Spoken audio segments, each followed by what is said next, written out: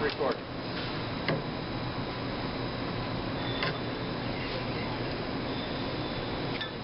Lock that first one down tight with your fingers.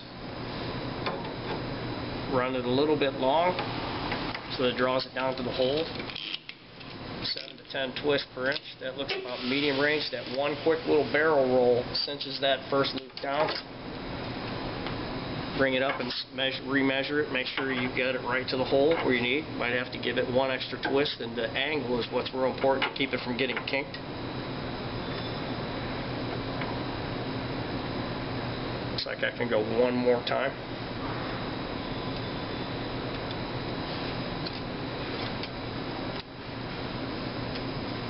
And the key here to keep a good safety wire good is to guide it into the hole so it doesn't get nicked.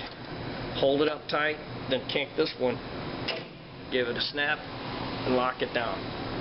Then do the opposite roll by hand first couple twists. Give yourself plenty of room for pigtail.